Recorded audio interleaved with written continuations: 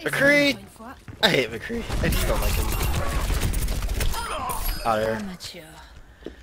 He's, as a character, he's kind of boring. He's just, uh, your typical cowboy. It's not really that cool.